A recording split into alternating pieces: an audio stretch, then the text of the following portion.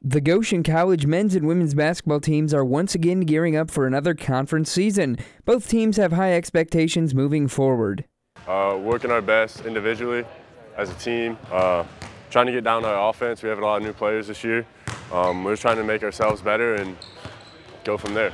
We've really been working on just becoming defensively sound and um, the basics of defense, really just rotating, talking, taking risks, and just being able to cover for the Goshen College men's team, they sit at 3 and 4 and they are now down two key players, something that sophomore Austin Branagan touched on.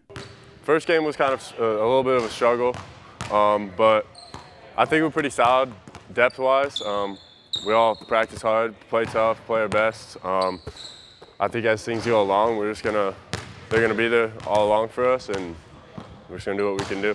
For the women's team, they sit at 6 and 2 this season. Sophomore Graysen Cockerham and the Maple Leafs are now looking to play together as a team.